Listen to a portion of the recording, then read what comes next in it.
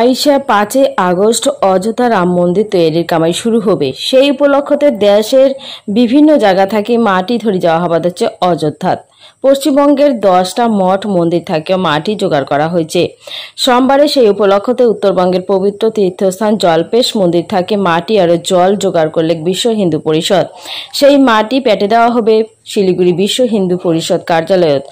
সেটি থেকে পেটে দেওয়া হবে অযোধ্যাত জলপেশ মন্দির থেকে মাটি আর জল নেওয়ার সময় উপস্থিত আছিল জলপেশ ট্রাস্টি কমিটির সম্পাদক গিরিন দেব আরও ট্রাস্টি কমিটির সদস্য শৈলেন্দ্রনাথ রায়, রঞ্জিত বর্মন, বিশ্ব হিন্দু পরিষদের সহ সম্পাদক বেণুগোপাল রায়, এছাড়াও আর এস এস এর খণ্ড প্রচার আর অনিমেষ রায়ের সাথত আরও।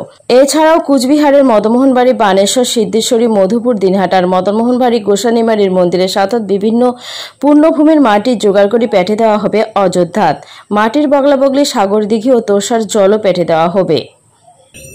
আজি আমরা আসিছি এই যে জলপেশ মন্দির পুণ্যক্ষেত্র। এটাকার জল আর এটাকার মাটি হ্যাঁ এইটা যাবে অযোধ্যা যে আছে শ্রীরাম ভগবান শ্রীরামের জন্মভূমি। এই অযোধ্যার যাবে ওই জন্য আমরা আসি। ওইলা মাটিকে আজই নিগাবেন?